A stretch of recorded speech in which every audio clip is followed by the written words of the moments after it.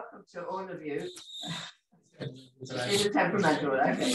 Uh, so welcome to all of you for, for, for, for joining us. Um, the bit of housekeeping first. Should you, should you hear the fire alarm go off, and you'll know it's the fire alarm, uh, please leave by the front door, the door that you came in by, and congregate on the pavement outside it's a very boring fire alarm. It makes a real loud noise. Hmm. In my student days, I worked as an usherette in the Odeon at Southend, and the fire alarm there was the tune Three Blind Mice, which I think is much more entertaining.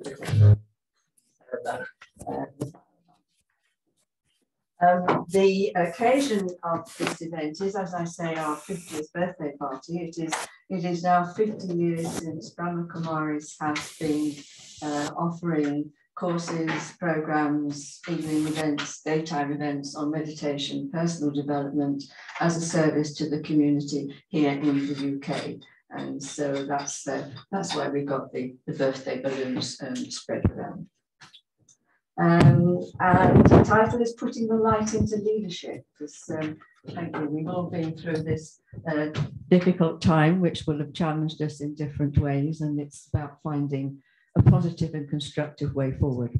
Before I introduce um, our, two, our two conversationalists, um, I'd like to ask Henny to just come and have a few words of, uh, of greeting.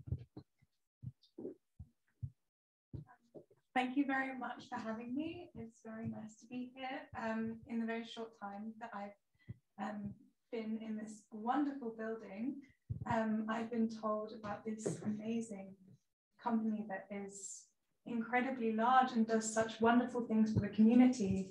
And I think it's really important that there is, especially for young people nowadays, with the pressure that is increasing, that it's very important for this mentality of being grounded and having this ability and platform to serve the community and stay true to yourself. I think it's very important that young people are involved in it as well as spreading it around the community. I'm very excited to be here today and I cannot wait to hear everything that is to be said. So thank you very much.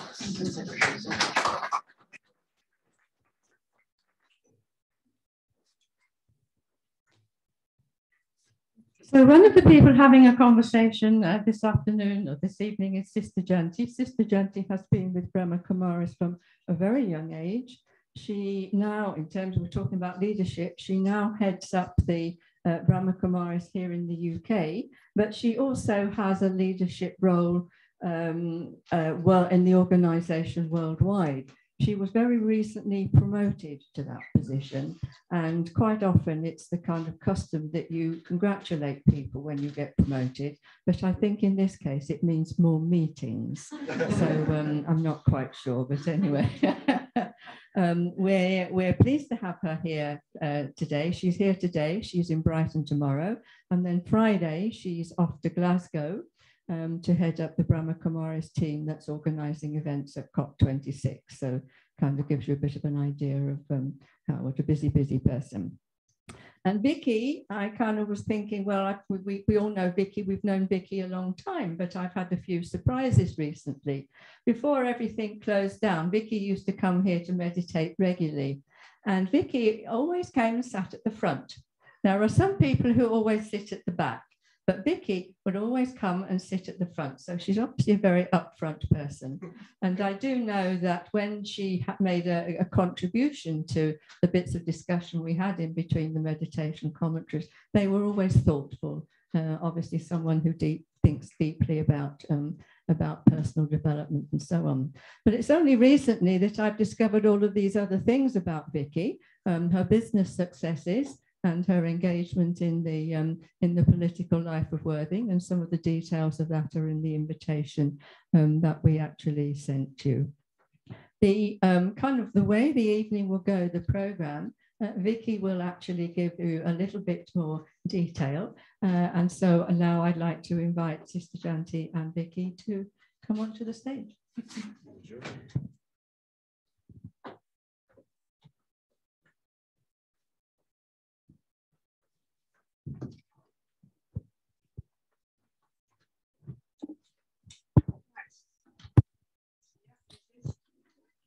Can you hear me in here? Is it working? Yeah, look, it's. Ah.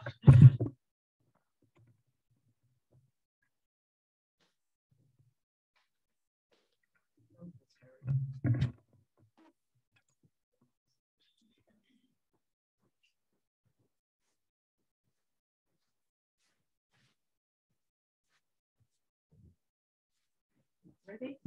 Right, oh, working now. Thank you all for coming today. Thank you, Henny, for your little contribution there. It's really great to hear from you, and we'll have a chat later.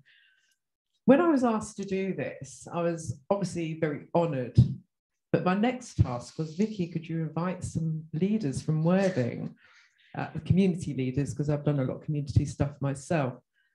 And I thought, yeah, I'd love to do that. So I sat down and I thought, where do I start? How do I approach people? And it was an interesting task. So I set about on my email, or do I phone people up, or do I just talk to them? But how do you ask somebody if they want to come to a, a spiritual place, spiritual, you know?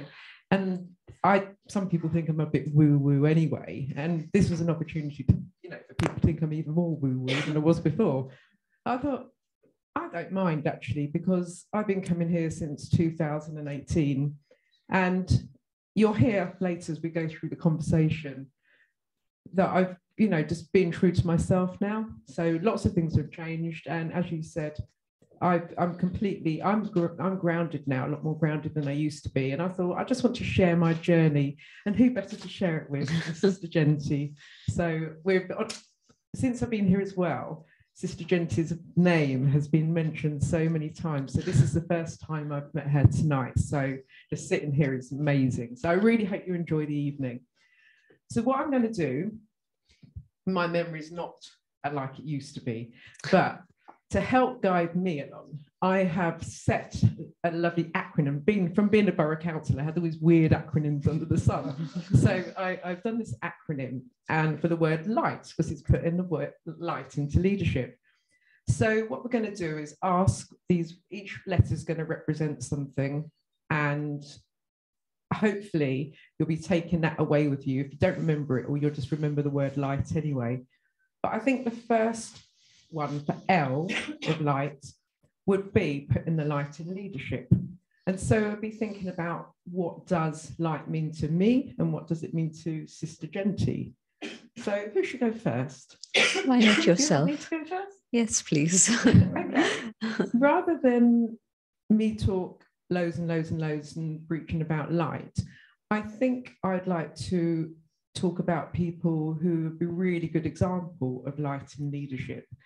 And over the last few years, I've come across many people, community people who are amazing. When I was a counsellor, I met Shirley here's amazing as well. Terry has been part of my charity Talent Within You as well, a volunteer. And to me, these people just tirelessly just do this community work don't ever get paid for it, but just keep doing it and doing it. There's something in there that is driving them and drove me as well for my charity, Talent Within You. It's really hard work. And sometimes you think, why am I doing this? But there's something you can't stop it for some reason. But one person in particular who really, I think, is a really good example of this.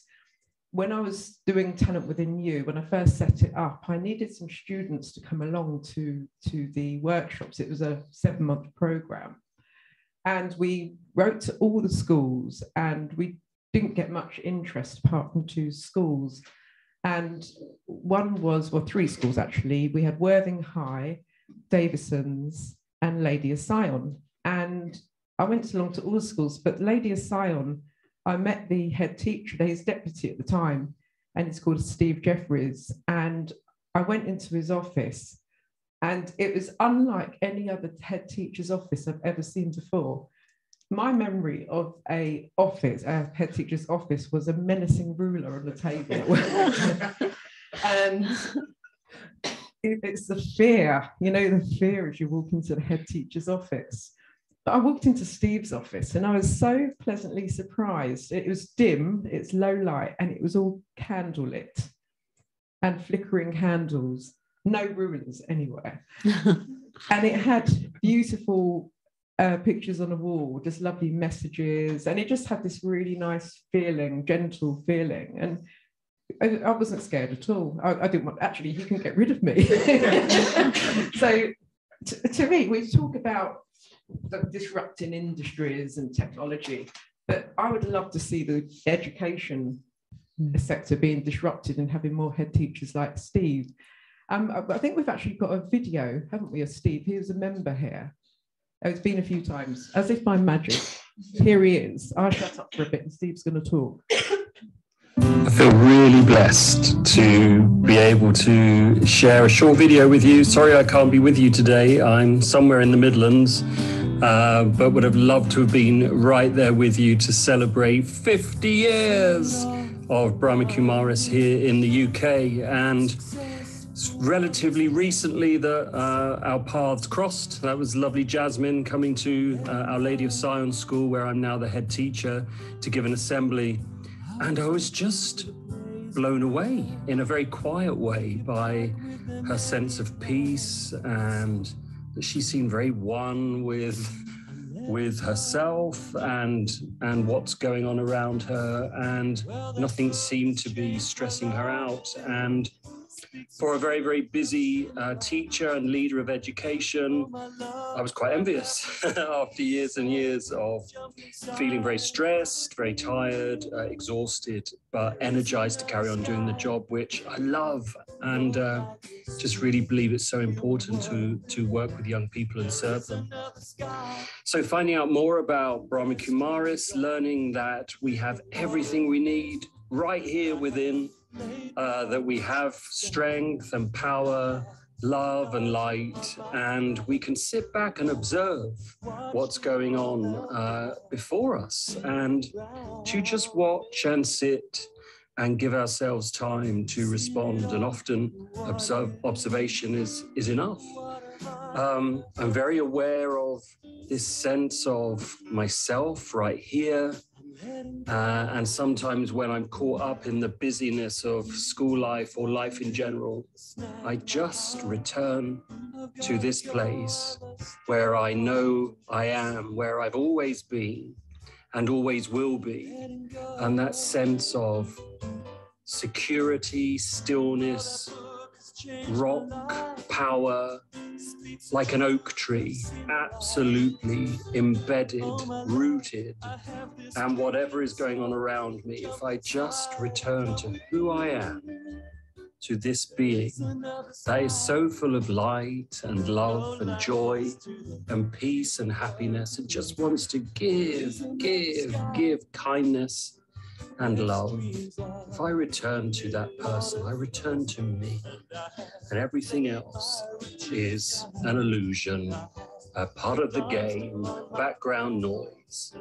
So, thank you so much for letting me share uh, in a small way on this very, very important celebration of the Brahma Kumaris being here in the UK for 50 years. And I, I think more than ever, your message, your understanding, your knowledge, your wisdom is very much needed for those who find themselves distracted and caught up in the illusion. So I wish you a wonderful day. I have written you a song as well. I don't know if they'll play it today, but um, hopefully uh, you will hear it at some point. Where streams of living water flow, and I laid my riches down, and I have danced upon my and I have you. Is uh, when I met in 2018 about my charity, it was him that introduced me to Brahma Kumaris. Um, he just happened to mention it. And when I went to Davison School, Joe, who was there, also mentioned it. And I thought, I've got to find out who this Brahma Kumaris is. So I went I went home and I Googled it and I thought, oh, it's not far from me. It's literally a eight minute walk from my flat on the seafront. So I came along to a Sunday talk and the Sunday talks were just so inspiring. I think this one was happiness from within and I was going through a bad relationship at the time and it just struck a chord with me and I was hooked in a sense. And there's a, funny enough, as I was coming in tonight, there's a sign outside for another really um, good talk this Sunday, and the sub- it's about making the right decisions. And I think that's what light leadership is to me. When you're feeling grounded and you're not driven by fear, which I'm not so much now. Occasionally you have a slip. I think everyone does, but I'm not so I'm not so driven by fear. So I am able to make the right decisions. So that's what it is to me. How about you? Beautiful. Thank you for sharing that. Um, many years ago, in fact, I can date it, it would have been around 1998. Um, I was at a conference far away in California, and some of you might have heard about it, the State of the World Forum. Um, they had, I don't think they have them anymore, but for 20 years they had conferences all the time. And this particular event, at the end of it, they said, Peter Senge was speaking, and um, I just knew a little bit about him. I didn't know him as a person, but later on, we I have got, got to know him very well. But um, he gave a talk in which he was talking about leadership, and he said the first thing he said was the quality of a leader for the 21st century is humility. And I was very surprised but I was very pleased because I knew that um, that is a reality. Because from my spiritual background, of course, I knew that when there's ego coming into play, things don't work out as you want them to. Because anything ego driven um, is not going to be successful. It's not going to win hearts. It's not going to win cooperation. And it's going to be a problem. And where there is humility, and I've seen it within my own organization, I had the good fortune of meeting the founder, Brahma Baba. I've had the amazing fortune of living with Dadi Janki in the same room for 40 years. And so I've seen leadership in action with a huge amount of humility. And there's another term that's actually used quite a lot nowadays. I don't think it was then, and that is a server leader, servant leadership. And again, that's a term that comes within our own teachings in a very big way. Um, being a server, being an instrument, being um, a servant. And so that idea of humility within a leader is to me the epitome of light ego is the heavy hand, and lightness is the humble server, the one who's actually there to be able to serve people and serve the world. Um, I met a woman a few years ago, this would have been 2019, and she'd come from Argentina. And at that time, she was the vice president of her country. Um, her first name is Gabriel, and those who are more familiar with South America might remember her second name, and I can't. But um, she was in a wheelchair, and she's been in a wheelchair for a long time. A car accident left her that way, and she had pain, a lot of pain. But um, she was speaking with um, a former president of India on the same platform. And she had come as our guest to explore what is meditation and so on. And she said that what made me choose to get into politics is because I wanted to serve my people. Now, I haven't heard many politicians speak in that way, and I wish they did, because I know that if there is that awareness of actually being a server, it would make such a huge difference to the state of our world. And so light and leadership is for me summarized by these two aspects humility and being a server. And then truly you're filled with the light from above, you're filled with your own inner light, and you're able to achieve good things, not for you, but for others. That's so beautifully put. I couldn't put that better myself. Actually, Shirley's been to a few council meetings, haven't you? As have I. And um, there are a few egos around the room there. Just a few, maybe more than a few. But I, I wanted to be a borough councillor in the first place to make Worthing even better than it is now. Um, and I was quite shocked when I went to my first council meeting. And it's quite sad because I think all councillors do start off wanting to be uh, doing it for their own town. But when you get into whatever whatever group you're in, uh, you have a like a leader of that group, and then you have a leader of committees. And I think maybe it's because it's structured wrong financially, but I think because there's more money for being a leader, people are fighting for the money, you know, and it becomes that, and, it, and then it turns into being a bit about ego, and it's sad, and it just, I think people end up changing for the wrong reason. So that's hence I got out of politics in 2018 to start a charity, uh, but I still have some very good friends there. So now we go on to I. Does anyone know what I is? inspiration. Yeah, you've read my script, haven't you? right. Okay. So, uh, what is it? Well, your, it's your turn to go first. sure. Um, for me, inspiration is having a mind that's clear, not full of fluff and clutter, because then you're actually able to catch inspiration because whether it's coming from something deep inside of you, or whether it's coming from above, or whether it's just the creativity that's enabling you to achieve something, um, inspiration is not something which is me. Inspiration is something that's coming to me. If you think about all the great artists who created the amazing temples that we still have, thousands of years old, um, if you think about all the masterpieces that they created in those days, um, the arts, we have ancient art styles in terms of dance and music and so on across the world. And those were inspired.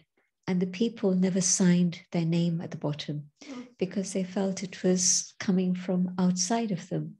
And even other artists since in modern times, you know, they feel that they've been inspired to do something. And so, inspiration in terms of leadership is very, very important because then it actually helps dissolve the ego because you know that it's not you that's actually doing something, but it's an inspiration that's driving you and motivating you. So I feel that inspiration is a very, very important ingredient, but not just for leaders.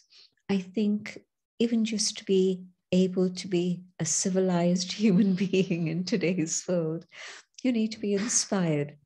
And if I'm inspired, then I'll be able to rise above the general state of ordinariness or even negativity that exists. If you think about how negative the influences are in today's world, um, whether it's advertisements that are bashing you, whether it's, I won't mention other names, but lots of things going on that are highly negative.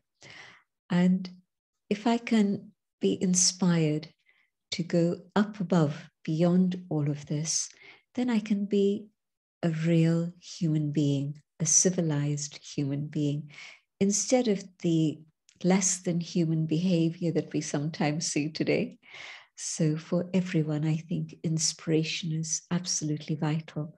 That is the motivating factor. Beautifully put again. I was going more from what I'm inspired by. And I'm inspired by people who just in a bad situation find the good in it. And an example of that as well is a lady, she lives in Broadwater called Claire. she was invited tonight, but she wasn't well, so she couldn't come. But throughout COVID, she set up a, a WhatsApp group, community WhatsApp group. And there's quite a few people who were completely, um, what's it, when they couldn't go out at all? Uh, shielding. That's the word, shielding. shielding. And she was she was enabling people to go around there and take deliveries or if people would run out of things and to me you know it was pretty scary in the first lockdown because nobody it's the first time it happened roads were empty And it's a strange place. And throughout of all that negativity, she found that space. And that it would have been great if she was here today, but I just I thought she should be have a mention anyway. But so what I think that is one thing that inspires me. It's it's that that that inner drive that people have. But also in business, uh, I've always been being a creative. I'm one of these people who likes doing loads of different things. Like something shiny and new comes up, I want to do it. And I'm always being told off for not focusing. So these people um, who are like the top businessmen, I'm not with my names tonight. Who's the guy SpaceX? That's the one. Thank you. Him. How do you know?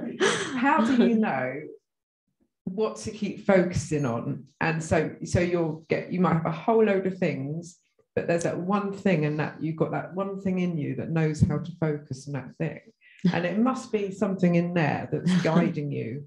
And I have to say, since I've been coming here, I I'm not being more focused, but what I have been, I'm focused in a sense what I've done is I've done what I'm using my intuition to guide me, which I never did before. I think maybe I was being driven by fear before. So I, although I'm doing lots of different things, I'm focused on that day. So for a Monday, I'll do my illustration. On a Tuesday, I'll do my techie stuff. On a Wednesday, I do my client work. And so I've become more focused that way. And we go on to truthful in a minute. Oh, I've just told you what the tea is. but,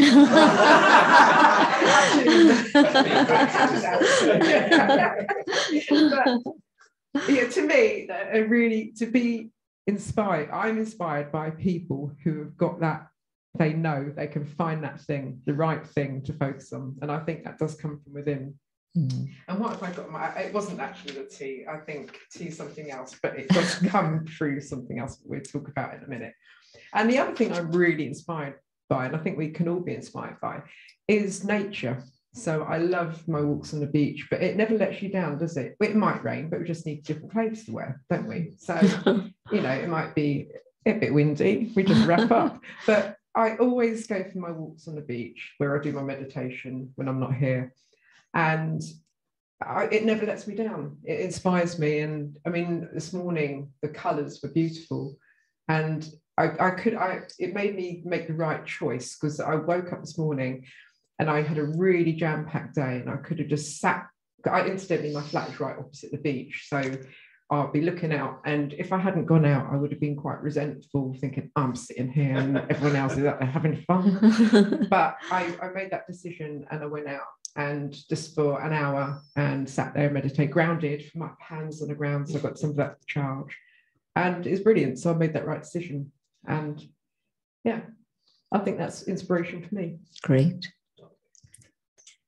That was very lovely because um, one is I was talking about the inner inspiration, and you were talking about the things that inspire you. So I mm. think that's a perfect balance because both things work. yeah, yeah. Mm. Although as we will go on, I've, one thing I've learned here is to look within and not look outside. But right, I'm sure you'll cover that later. So, G. Does anyone know what G is? T. Are you going to do T? Yeah. Thank you, pardon. I can't G is for spelling. it's actually genuine, which is where the truthful comes in. That's where I got a bit confused. So it's my turn to go first, isn't it? Really. So I think I just gave a little bit away in the previous one. So just being, a, you know, the focus thing.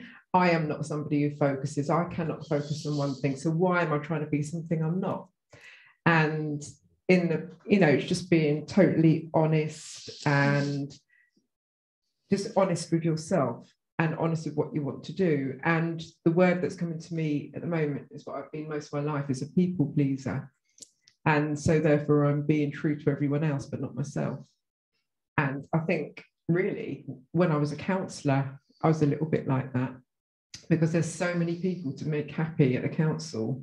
You've got the public, and when you're on the planning committee, you're always going to have somebody who's upset. So it's terrible for a people pleaser because you've got the pers- person who's putting in the planning application, so they want it to go ahead, and the person who doesn't like it. So you're going to upset someone. Maybe it's a good test for a people pleaser.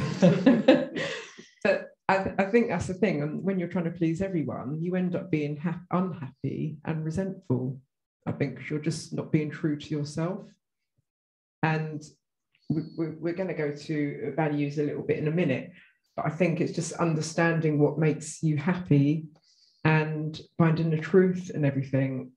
And an example, there's a thing I'm doing, I'm a brand consultant, so I'm really into brand archetypes, and that's a, it's a really good exercise to do. Who's your brand archetype? You've got the sage, um, the caregiver, you've got the powerful one, and there's lots of different ones.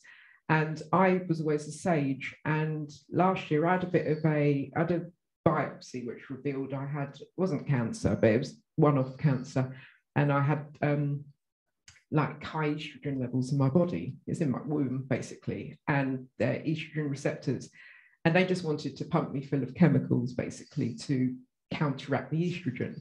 And so I said, actually, I don't really want more chemicals in my body because if I've got, to me, it's not being true because you just pump any more of something else. It's I need to get to the source of the problem. So getting to the source of the problem is the truth for me.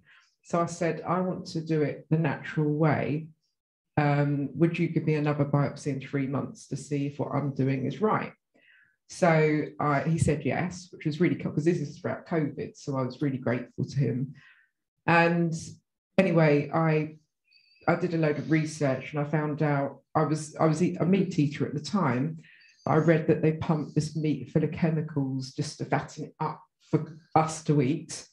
Um, and they uh, also there's cadmium. Worthing, a lot of the Britain, the whole world actually, there's cadmium under the earth. It's like a heavy metal, toxic heavy metal, and it's in some of our water. And cadmium is related. Um, there's a strong link between that and endometrial cancer.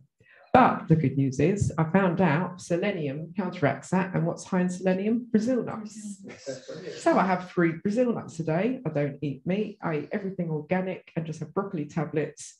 And in three months, I went back for my biopsy and it's completely clear. Wow.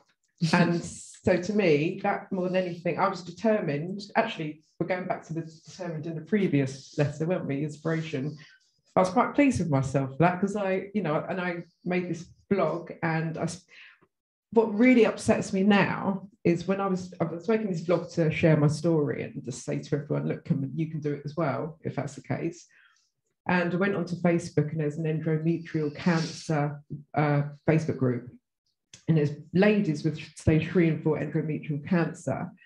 And I kind of said, you know, have you heard about what I tried? And nobody's doctors haven't even mentioned it to them. So my mission now is if I won the lottery or something like that. I would love to literally do a big research project to see if we could change, you know, lives just by following, you know, doing something similar to what I did. Even if I'd saved one life, I feel like I've made a difference. And that's the truth. It's the real truth. And so the big thing, I get quite upset about big pharmaceutical companies who don't, they just won't listen so, but so one thing I want to get across here is please don't stop taking any medicine if you are under any care. This is something I did at my own total risk, and I was getting tested three months later. So it's really important that nobody ever stops it. But I just really want to get across here it's the truth. And that was what the truth was to me. That's just one little thing. Mm, very good. um, I think you were very courageous to embark on a journey that that must have been a real inspiration inside mm. that this is what I want to do and that's how I'm going to get well. Um, congratulations, really, that's brilliant. Um, as you were speaking, I was remembering a few things that I've come across in recent times, well, over the years. And the first one was that there was um, there's a woman who's um, a colonel she's a medical doctor, but she's also a colonel in the army. And so, various situations. And she happened to be part of a committee, this would have been in the 80s, that was exploring the whole situation um, with food and the impact of food. And there was a lot of research that had been done in terms of the impact of meat on health. And it was all bad news. But the meat lobby in the USA, this was in the USA, um, intervened in a very, very aggressive way um, to ensure that that report was never made public. And that was my first encounter with what's going on with politics and money in the world. And the second was when, much later, but not so long ago, um, I understood that the cigarette manufacturers had a big, big lobby that created because the medical science was saying that smoking creates lung cancer. And so, what these people did was to pay scientists, and of course, they were in their payroll. And so, they weren't there to uncover truth, they were there to support their masters. And so, they found ways to instill doubt in people's minds about the research that was talking about smoking and cancer. And of course, for years and years, this debate continued um, because scientists were also saying, no, it's fine, it's okay, it doesn't. Um, and so the, the seed of doubt meant that you couldn't get any further. And then the third has been fairly recently, I've understood that um, with climate change science, again, the same thing has happened. And as I say, this was only a recent discovery for me.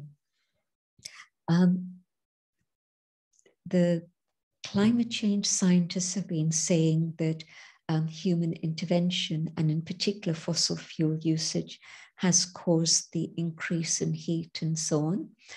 And they've been saying this since 1972, actually and more and more scientific evidence, but also just your own experience of the weather and what's going on in the world, it confirms all of this. But the fossil fuel industry took lessons from the um, smoke, the cigarette manufacturers hired the same lawyers who had worked for the cigarette companies. And they also told them the strategy was to get people to start having doubts about the science. And so they had scientists who were then saying that, no, no, no, it's not true. And there's a little clip that was sent to me, and it's a woman I know, a woman called Roberta in um, the USA, an investigative journalist. She's now retired from that, but she was on CNN. And she sent me this little clip in which in 2003, she's at um, a climate change conference, COP existed at that time too, is now the 26th one. But um, at that time, she's interviewing leaders of the fossil fuel industry and saying to them, Well, do you think that what these people are saying is true? No, no, no, no, no, there's no way. And her comment to me was, If I could track these people down and show them what they said at that time. I wonder what their response would be. But I don't think I'm going to go through that exercise. What would be the purpose? For me now, what is more important is to see how we deal with the situation today. And so, on the one side, I'm seeing that there's the whole subject of honesty or lack of honesty, which is one part of the truth. And that's related to what's going on in the world at this present moment. Some very passionate, like Greta Thunberg, mm-hmm. and um, people are dismissive about her sometimes, or she's just a very angry young woman. But what she's saying is actually true that the leaders have been blah, blah, blah. that was the latest comment that came. Um, so you have truth on that level, or honesty and dishonesty. But then there's another truth, which is a higher truth. And whether some would say we are searching for God, or whether some would say we are searching for truth on that level, the eternal level, again, there's a passion that drives you, that wants you to understand. You're looking for something. And so I think that probably it's that spark that is within everyone who's here today who decided that, well, I don't quite know where I've been invited to, but I love Vicky, I trust Vicky, and so I'm going to come. Um, but there's something that made you renounce the comfort of your home and come out when it's beginning to get dark quite early and be here. So I think that that inner spark that wants us to find what is truth is a very, very powerful force that's actually going to help us deal with the honesty and dishonesty issues that keep coming up in front of us every day. There are so many things that, you know, like I remember it was only in 2016 that um, the whole subject of um, the false stories that were being circulated and the era of post truth began. And so truth was another era. And by then, 2016, we were in the era of post truth. And I don't think we've come out of it yet. so, but um, again, it's a very specific couple of situations that happened. Brexit happened and Trump got elected. So those two were 2016. Mm-hmm. And it was the era of post truth. And in my mind, they're all connected. So um, we are living in strange times, not just climate, but also post truth era. And so for us to have again that inner voice telling me, where should I go? What should I do? How should I deal with the situations of the world is very, very important. But it brings me back to being able to have that inner space in which I'm able to find that moment of silence and peace within myself that will help me understand what's happening. Oh, thank you for that. And you've just put loads of things back in my head as well. I think what I've learned most from this place is the space, how to find the space from within. And uh, in my job in, in marketing and branding, there's so much, I have to look at social media all the time. And I'm almost sick of looking at it because I'm think I look at it and I think, what's the truth? What's not the truth? You're getting unsolicited advice. Is this the right advice? Is this the wrong advice? And it's, it's that not knowing all the time. And so now I've been taught just to find that space. So, like, I go down the beach and I just do that, or I come here, have my one Monday nights with Mark, and I've met Amanda here as well, who's a really good friend now. And it's just, I, I leave there and I just feel rested. I feel like my brain is rested. I've, you know, I just haven't got all that noise, boom, boom, boom, boom, boom, the whole time. It's really nice. And I think we're just going to get loads and more and more and more. I can't see social media going away. I, I, I, just see more of it and more social media channels. And I don't, I just don't know when it's going to stop. So I think it's just taking a responsibility from inside and just thinking it's up to me to get away from it and just have that respite. And I think that's what I found mm. from coming here, really. So, H, does anybody know what H is? It's harmony. and harmony is aligning your vision, mission, and values. And this is for you to go first. Okay. Um, well, I love what you've just said the vision, mission, and values, because I know that for myself, harmony is what's going on inside of me, first and foremost. And the harmony that I'm thinking about, which is why I was struck by what you said, um, what is my conscience saying? And what am I actually doing? Are those things aligned? And where there's always a sense of discontent um, that many people have, um, I think it's very much connected with the lack of harmony within. And so, where there's a conflict that's going on, my conscience is telling me something, but what I'm actually doing is not following my conscience. And so, that disturbance inside means that in terms of relationships, I'm seeking harmonious relationships, but they're not happening. But instead of thinking, well, because so and so's like this, so and so's like this, if I again step inside and sort things out within myself so that I am more aligned to my conscience and my inner values, then I think that sense of security that comes. Is a very different sense than the discontent and the sensitivity in which you know we get sparked into a rage because somebody does things and so on. When i'm secure and i'm comfortable and i'm in harmony with myself then my capacity to be able to understand and align myself with others so that there can be harmony, even though we don't share the same ideas, we don't share the same lifestyle, even maybe. But it's like, you know, when you've got um, an orchestra, um, it's different instruments and different notes that are being played. But when they all come together, hopefully there's harmony instead of cacophony. Um, and so I think that the alignment inside and the harmony within makes it much, much easier to experience harmony with others around me. Very good. How do I compete with that? I don't because we're in harmony, see. So, harmony to me, vision, mission, and values. I used to always have problems finding my vision uh, I know I'm short sighted, but I always had, I felt a bit of a fraud because I'm an executive coach and which I turned into a branding coach. But I felt a bit of a fraud because I'd be expecting my clients to, you know, find their vision.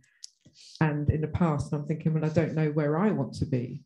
And but I was thinking materially, before. And I was thinking, oh, I want to have a big helicopter and I want to fly to the 2K. and that's where I want to be in 50 years' time. Oh, it's less than that, 10 years' time.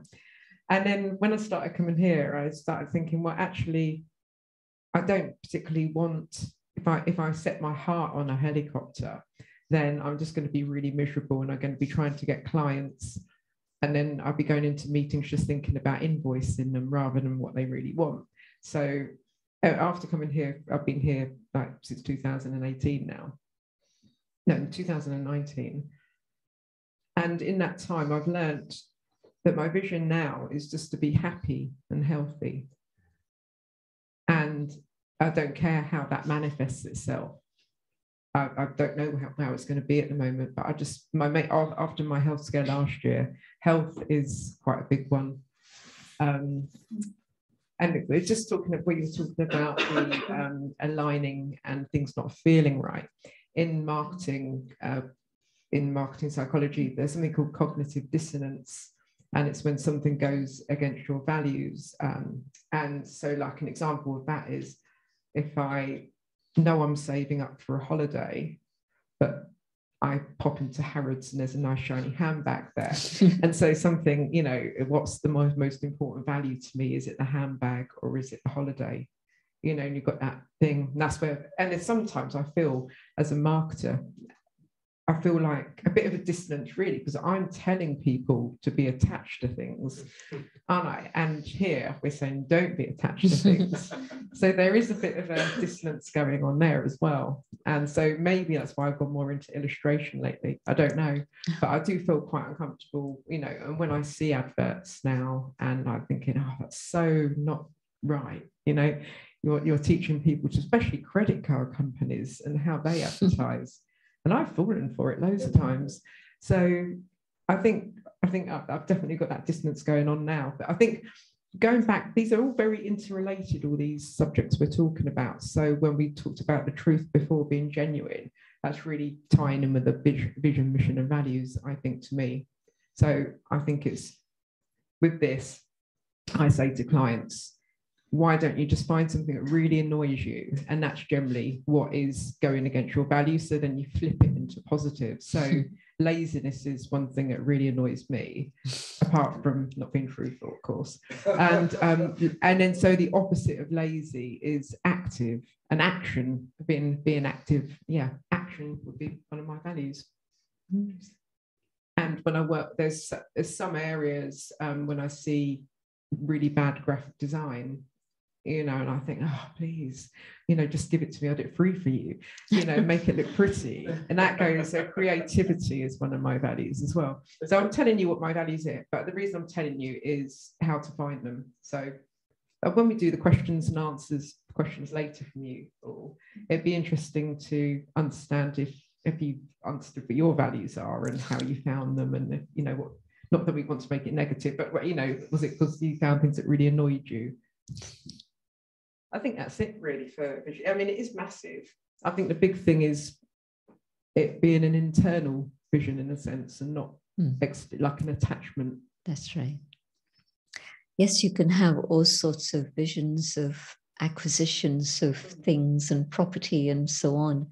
And you can even get there and then discover there's still an emptiness inside of mm. you. And so when you feel that there is this emptiness, you realize that it wasn't this five bedroomed house that you had hoped for, that that would really make you feel content and happy, and it doesn't. It's actually something else. And so then you realize that maybe it's something to do with the world inside of me mm. rather than all the things out there. It's taking that responsibility, isn't it? Mm. Which is what I'm learning on a journey. Mm. So we're now we're on to the last one, for it's over to you. so tea. Does anyone know what tea is? Something you drink. There's always one. Notice Terry sits at the front as well. Thankful. And oh, I'm answering this one first. so, yeah, thankful. I think has everyone here heard of their gratitude diary or gratitude writing your things down? If you have, I find that is the most help one of the most helpful things that I do now. And it doesn't matter how bad my day is, I always find time to just think of three things that I'm grateful for and it does vary from day to day. And if I'm feeling like there's nothing gone right today and I can't be thankful for anything in the day at all, I actually thank uh, I thank my mum. I don't always get on with her. I'm glad you're not here, actually. Sorry, mum. Um, for teaching me to swim because now I swim like loads. I swim like 10k a week, and when I'm swimming, I meditate. And so when I'm doing my stroke, I'm saying, I am a peaceful soul. I am peaceful, even if I'm angry. And then everybody in the pool moves over for me. so it really works, this stuff. That's why I'm here. I would be here otherwise. so if she hadn't taught me to swim, I wouldn't have that experience. And then I'm grateful for my sight. And I also love, I'm, I'm almost blind in one eye. Um, but I'm good in one, the other, well, still slightly short sighted because I wear glasses, but at least I can see out of one eye. So I'm always grateful that I can see out of one eye. And I'm grateful that uh, I can cook. And mum, my mum taught me to enjoy cooking. So I know so many people who hate cooking, and I can't imagine not being enjoying cooking. So I'm so pleased. I'm grateful. I'm not grateful for cooking. I'm grateful that I enjoy cooking because I think two different things it's creativity. And if I've had a really bad day, I'll go and cook. So those are my three. So if I, there's nothing good about the day, I think about those things. And also, how could I forget? Thank you for Steve for introducing me to this place. You know, because I've completely changed my outlook. So, hmm.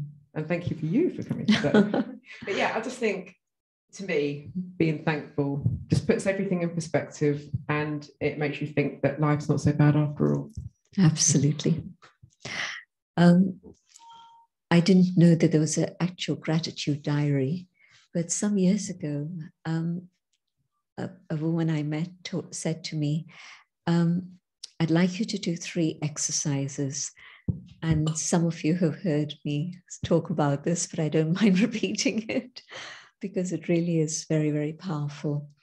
Um, she said, write down a hundred points of gratitude, what it is you're thankful for, right from childhood till today.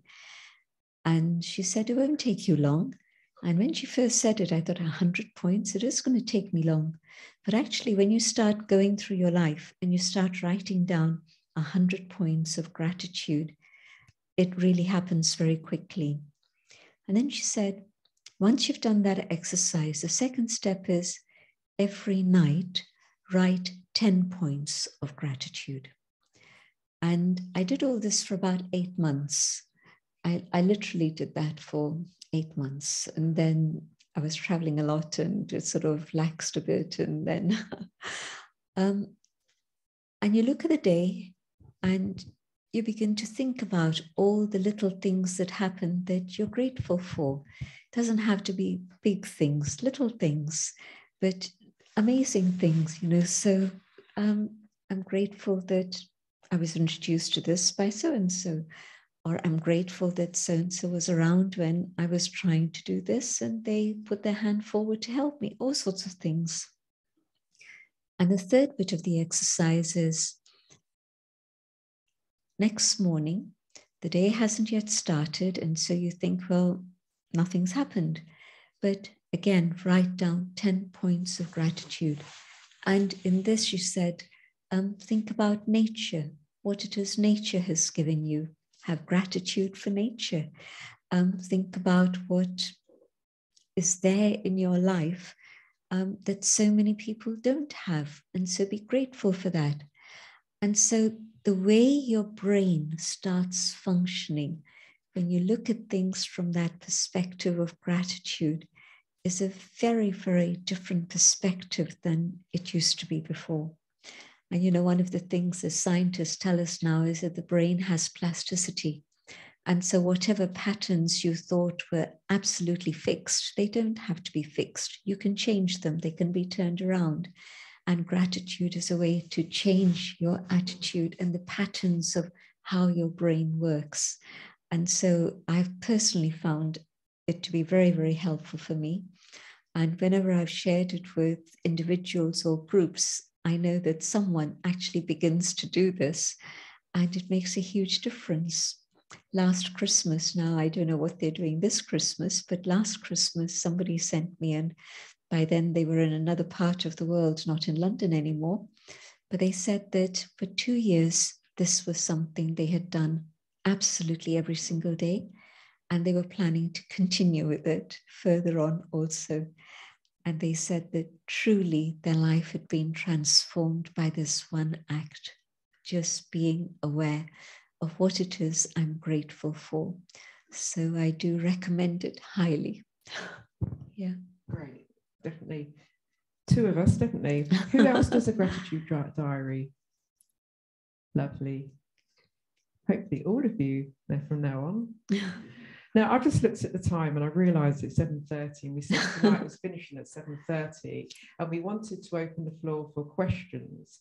So if anybody needs to shoot off really quickly, I would say, would you like to ask your question first? Or has anyone got any questions at all? How are we doing for time? Does anyone need to rush off? So we've got another 20 minutes, say, for questions. You're okay? Who would like to ask a question? God, I can't believe there's not one question. Shirley. Rub it in the headlines. okay. Can I ask what was the most interesting part of tonight? Has somebody got? I just like to say that last bit. It was really good. I've been going through a really tough time recently with a lot of negativity that I notice now I've actually started using that negativity. And actually, that's not my role. That's not for me to do. My role is now to turn that negative into a positive from my point of view. Mm. Very good. Sister Jayanti, have you got anything to add to that? um, just to say that um, some you mentioned a word earlier, um, taking responsibility for what's going on in my own inner world. And yes, um, the world is in a pretty dark state and it's coming to me from all directions. But can I keep the light shining inside and make sure that I stay on track and I'm true to myself? Um, you know, that's not my part. That was a lovely expression you used. Um, whatever they're doing is their business, but my part is to be true to myself and have that clarity and awareness of what I need to do. So beautiful, taking that responsibility for the self.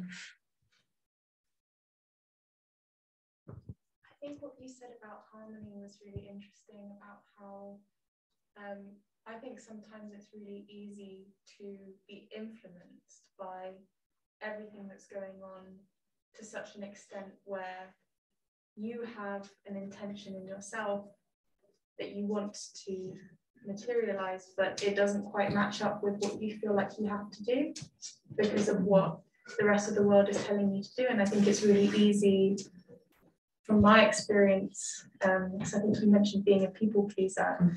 I'm also a people pleaser. I mm-hmm. like to make sure that everyone else is okay before I check on myself. And I think in that sense, it's really easy to sort of lose that harmony if you're not aware of the fact that that needs to exist in order for you to be true to yourself. I thought that was very interesting. Mm-hmm. I would just say make sure you take time out for yourself mm. and just take some space to get that space no matter where you are, there's always somewhere you can disappear to, I think.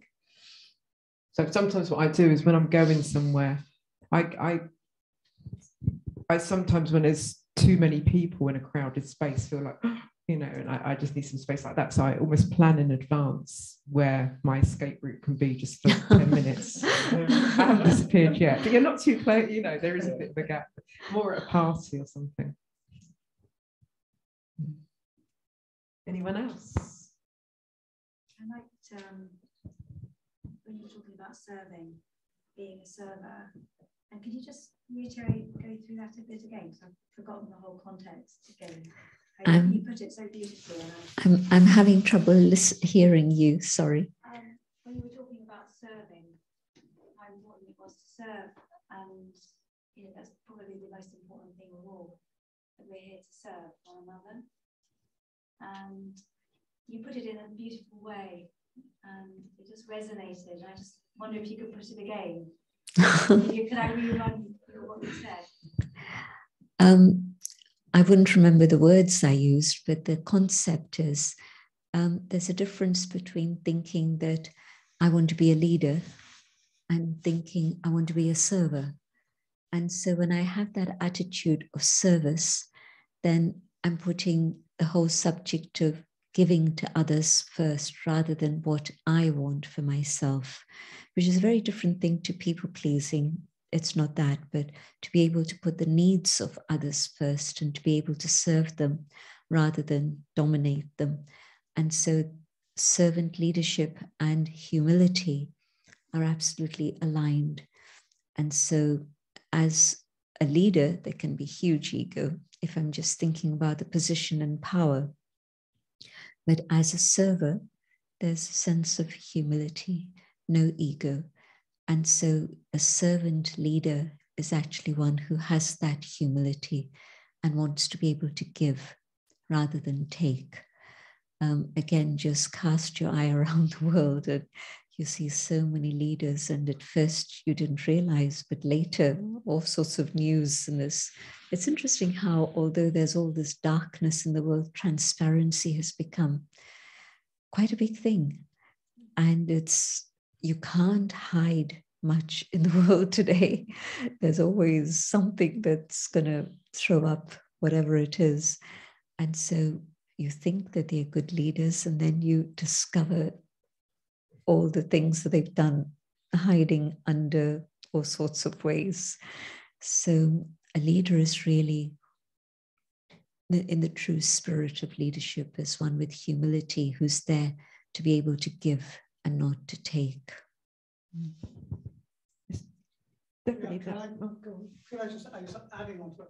You know, we talk about thankfulness and, being, and gratitude. And I think too often we allow ourselves to sink into this thing. The world is a dark place. People are doing dark things. Oh dear, which makes us fearful.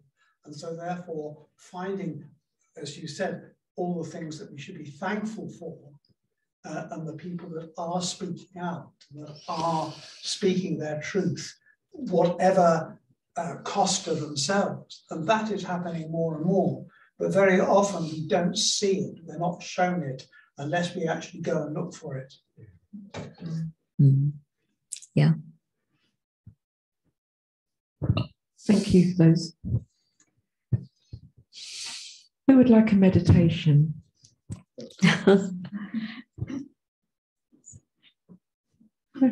to finish off? Almost finish off. Yeah. Mm. Sure. Please stay.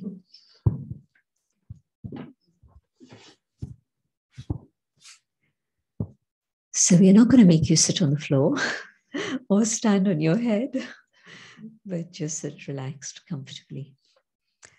And I'll share a few thoughts, and if it's helpful, follow those ideas.